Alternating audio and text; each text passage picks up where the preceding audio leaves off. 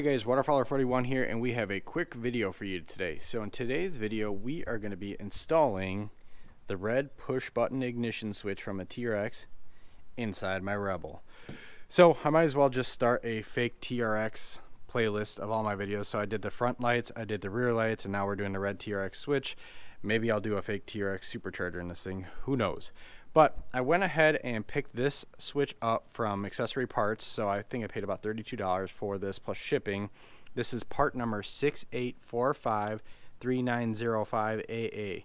So I'll put a link to this down in the description below. But this is the part number for the TRX switch, which is a direct fit for the 2019 and newer push button start RAM, so the 1500s.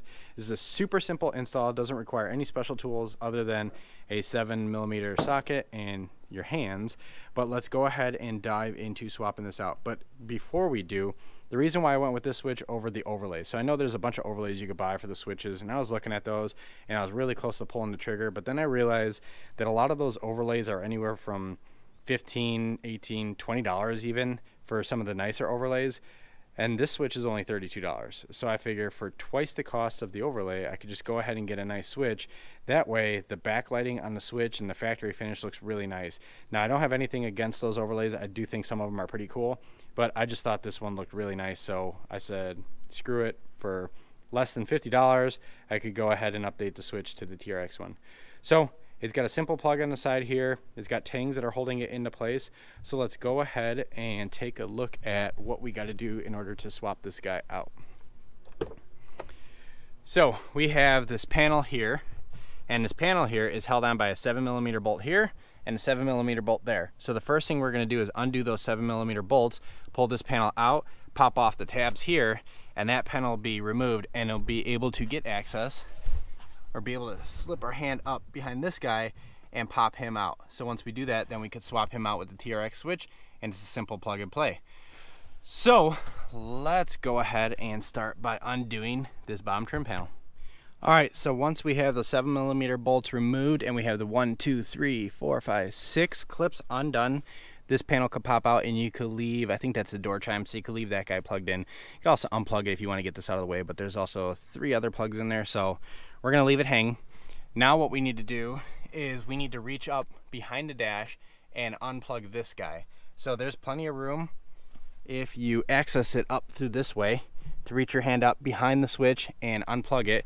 And here's what you're working with. So, all right, in order to get this guy out of the dash, when you reach up underneath there after unplugging it, you basically push this tang in here and then you got two tangs on the top that you want to push in. Once you do that, the switch will pop straight out. So I have everything loosely into place here. So if I go ahead and just grab the bezel and everything and pull that switch out, we are good to go. So here's the old switch and here's a new switch we're going to replace it with. So now what we need to do is pull that silver trim bezel off there. I'll just get a little flathead so I can carefully remove it from the tangs. We'll transplant that guy onto here, get this guy popped back into place, and we'll be good to go. All right, so we have our flathead. We're just gonna take that, put it underneath the little plastic trim. super loose on there, so pretty easy to pop that off. Then we're gonna take it and just transplant it onto the TRX switch. Once we do that, we're good to go. Then we could take this guy, fix our camera, and then it's as simple as just dropping right in there. Just align it, and there we go switch is installed. So let's get the plug back in there and get the seven millimeter sockets or seven millimeter bolts back in place, get that trim in, and we're good to go. All right, so now that we have that switch popped into place, the last thing we need to do is reach up underneath, grab the plug, and plug it into the top section of that switch, and then get everything closed up. So I'm gonna go ahead and do that. Can't do that with the camera in my hand, but it's super simple. It's just plugging in a wire that fits right into the hole there, and then getting this guy closed up, and then calling it a day. All right, so we have the switch ready to go. Everything's plugged in, got the panel put back in there. So as far as the install, super simple. Undo the two seven millimeter bolts that are holding that trim panel in, pull the trim panel down gently, reach up in here, unplug the switch itself, grab the two top tangs and the bottom tang, push the switch out. The switch will only come out this way. Swap the silver bezel onto the new switch and just put everything back into place. So pop the switch in this way, plug it back in, and reattach the panel down there with the two seven millimeter bolts.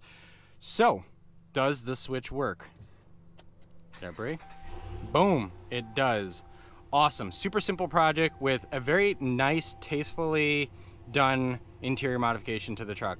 Why the Rebels don't come with this switch from the start, I don't know. Maybe it's just another thing that they want to have different on the TRX. But anyway, it's super simple to do and totally attainable. And I mean, if you know how to use a ratchet or if you know how to use a socket, then you will be able to get this guy installed.